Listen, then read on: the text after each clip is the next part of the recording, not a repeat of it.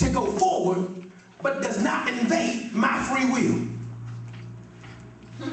I'm glad you asked. Here is how he does that. He makes the situation Go ahead. behind you so bad Go with it. that you feel like the best option for you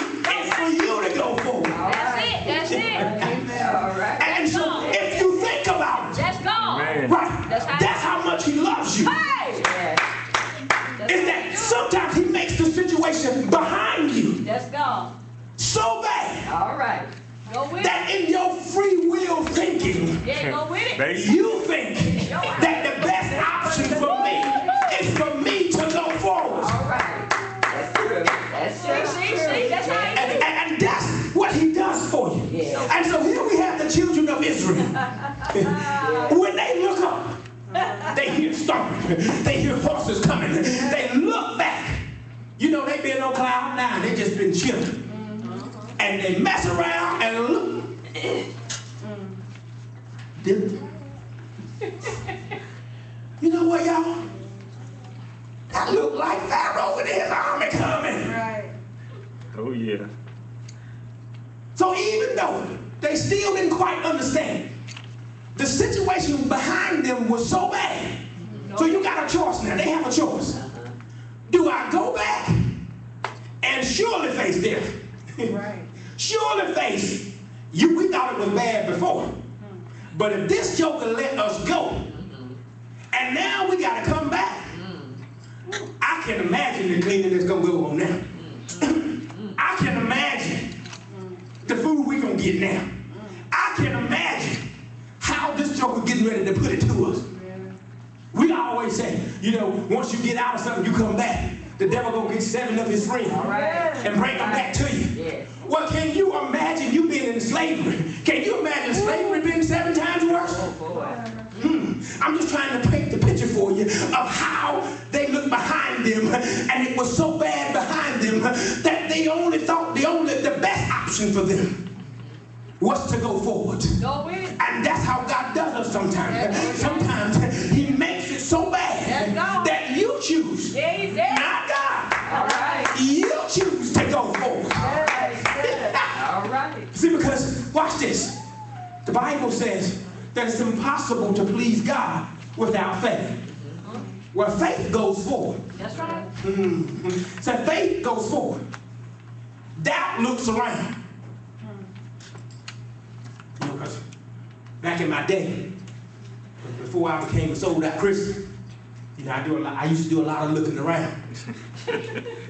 Because what I did, I, I needed to make sure I could get away with it. I, I wasn't sure I could pull it off every time.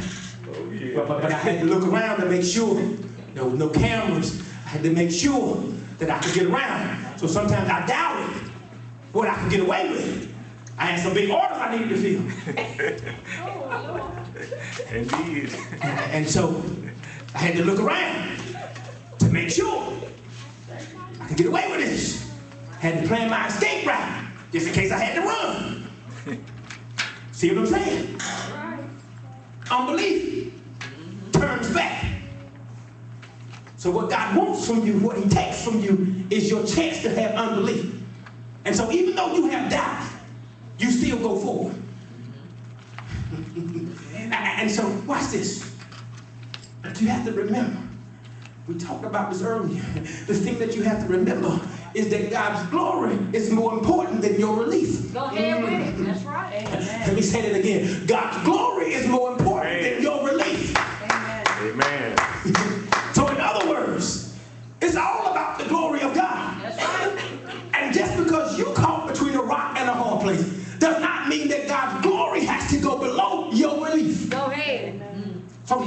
just to do it to you. Hmm. And and so watch this. As they got ready to go forward, Moses said, he looked at Moses. And my question to you there while you thinking here, who really was in between the rock and the hard place? Was it Moses? Was it the children of Israel?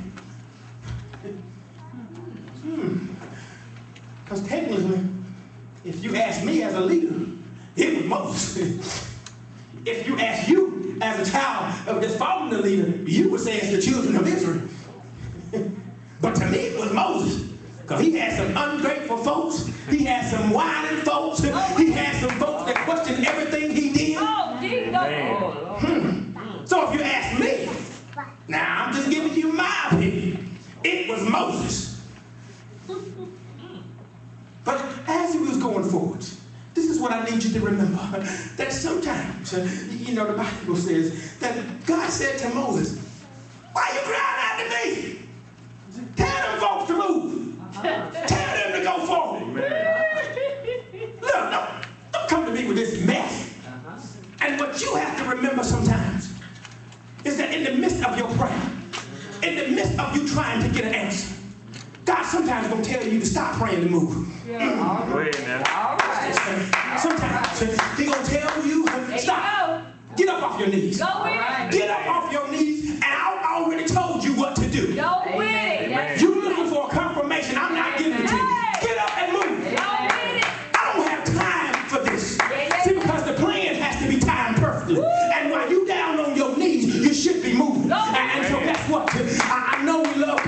confirmations, but sometimes you got to just move. And don't take it wrong when God tells you to get up. Amen. Go forward.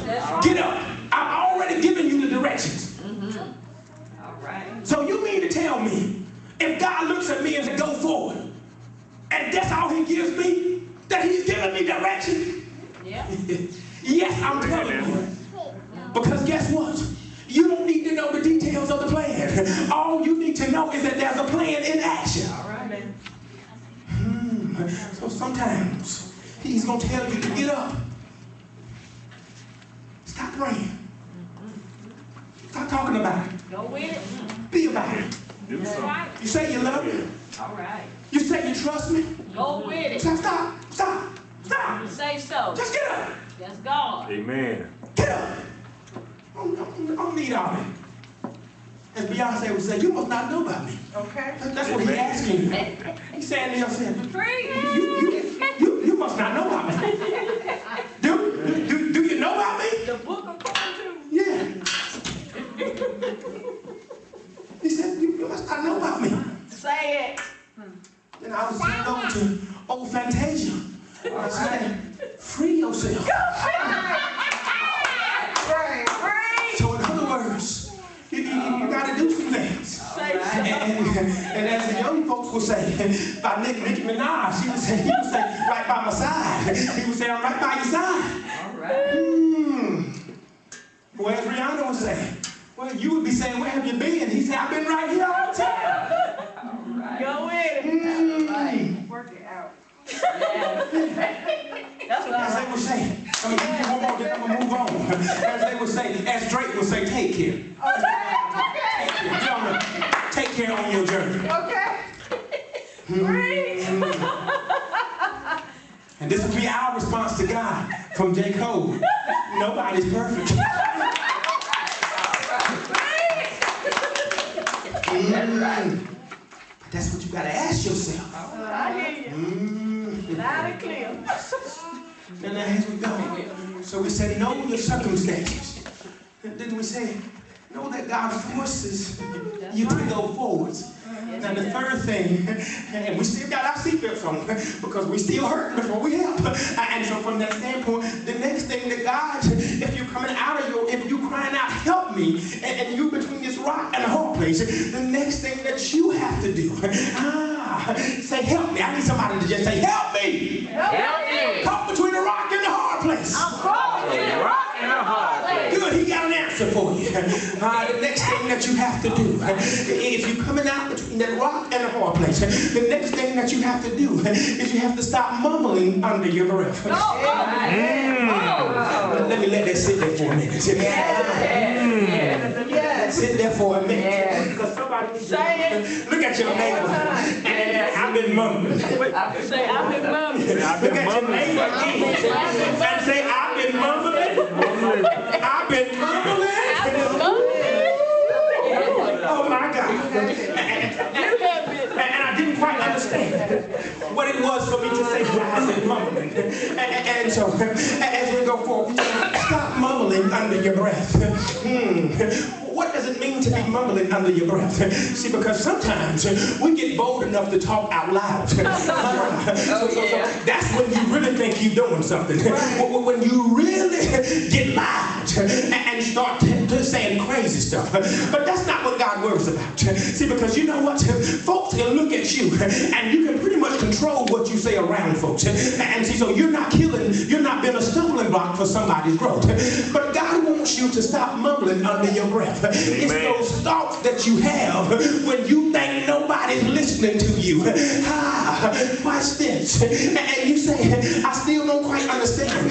The children Israel said, You know what, Moses? What did we tell you? Didn't we tell you to leave us alone? We told you to leave us alone. There were no graves. And now you got us out here to kill us in the dead. In the wilderness, pretty much. Hmm. And we say, but I don't do that. I don't go that far. Hmm, we don't.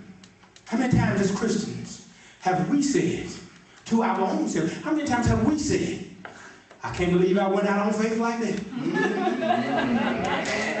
I'm gonna turn around. Let me turn on around. I, I can't believe God got me out here on Front Street like this. I, I, I, know this ain't what he had the plan was. This can't be right. How many times have we said stuff out loud? Hmm. And not only that, how many times have we thought about it and, and said this? If I could do it all over again, I sure wouldn't do that. Mm. Now, I'm not talking about the mistakes that you made. Mm, watch this. I- I'm not talking about when you were wrong. Because guess what? If God didn't tell you to do it, I'm not talking about those times. Because guess what? You're all right to say those. I'm talking about when you know it was God and God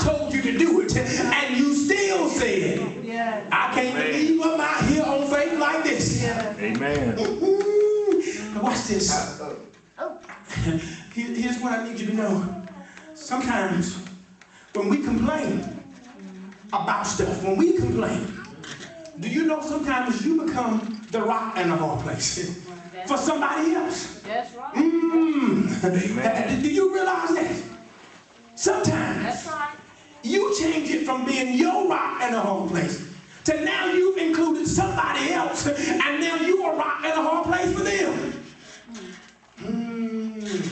I, don't know how many times that my brother have came to me and, and said, I'm going through this, brother. Man, you just put me, you put me in between the rock and the hard place. But I was doing fine. but now you got me in this. So when you complaining about stuff, you have to be careful that you don't become somebody's rock and a hard place. Because I don't know which one is worse, the rock or the hard place. See, I don't know which one is worse. Hmm. And so, watch this. But we got to be careful with those thoughts, though. But here's what God told them. If we keep going down, God said, stand still. Hmm. He said, first of all, go back. First thing he had Moses to say to them is, fear not. Hmm. Then he says, stand still. What do you standing still? What does standing still really means? It says, be firm. How sure are you? How much confidence do you have that God is fighting your battles? How confident are you? Then he says, see that the Lord will fight your battles. But when you're scared, that means nothing. Ooh. That's why you mumble. Mm-hmm. You're not mumbling because you want to talk. Go ahead now. You're mumbling because you're scared. Amen. Mm. We talked about that fear book. Mm. And, and folks say all the time, you know, God didn't give me the spirit of fear, Amen. but a power. Uh-huh. Yeah. I don't give, God don't give me the spirit of fear. Mm-hmm. Who gave it to you then? Hmm. But watch this. Just because God did not give it to you does not mean that fear is not around. Because guess what? Fear has been around since Adam and Eve. Yeah. Amen. Because they, he asked, why are you hiding? I fear. Amen. So fear has been around. So it's one of the devil's tricks. Amen. And folks say that fear is false advertising appearing real. Yeah. When you scared, what appears real to you is real. Yeah. Because that's pre- what we say, baby. Perception is reality. Yes. And so therefore, if I feel like I'm scared, I'm scared. But the reason you mumble is because you're scared. That's right. And somebody, no, not me, not me. Mm. But watch It this. is. Yeah. I, like you said, but that's why we mumble. Go ahead. Because we want everybody to know. And so you mumble. Man, You seen folks that mumble? They got some ugly faces. Yeah. Talk about under their breath. Mm. Grit the teeth. Mm-hmm. All kinds of stuff. But they scared. That's why you mumble. But watch this. See, because here's what you have to remember. The thing that fear does, it causes you to distort the truth. Let me say that again. Fear causes you to distort the truth. Because when these crazy folks said, it was better for us to stay in Egypt. Yeah, You're right. Wait a minute. So you mean to tell me you would much you would have rather been a slave than take a chance on being free? I'm telling you. Go ahead. Because if he did nothing else for them, he had freed them. That's right. If I had to wander around in the wilderness the rest of my life, Go ahead. Tell it. I was free to do what I wanted to do. That's Tasting right. that That's right.